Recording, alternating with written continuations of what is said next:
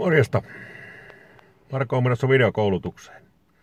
Ajattelin vielä näin amatöörinä häpäistä kertaalleen itseni. Itseni ja ihan pienen pätkän heittää videoa. Siitä kun eilen luin tota meidän propagandajulkaisua Karjalaista. Siellä oli uutisoitu susista.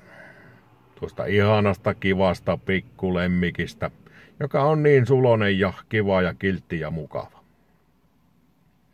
Oli uutisoitu siitä, kuinka voitaisiin estää susien hyökkäyksiä ö, ihmisten tuotantoeläimiä vastaan.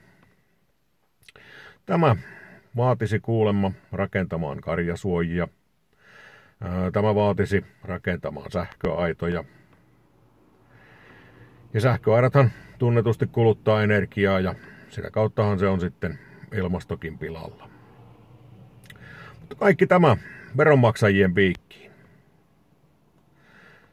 Mutta minä sitä olen sitä mieltä, että kyllä tuo ihana kiva pikkususi on maksanut meille suomalaisille kaikella tavalla jo aivan tarpeeksi.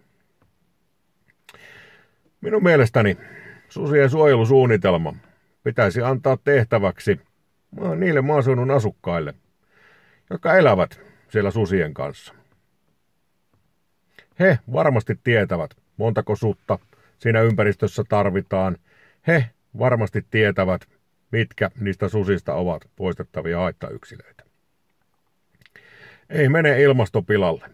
Ei maksa veronmaksajille. Se on vähän samalla lailla kuin tämä susitutkimus. Siihen on uhrattu aivan tähtitieteellisiä rahasummia.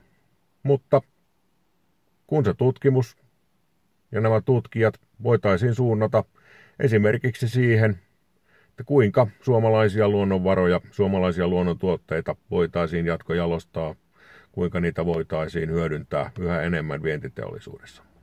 Näin sekin asia saataisiin kansantaloudellisesti tuottavaan ja järkevään muotoon.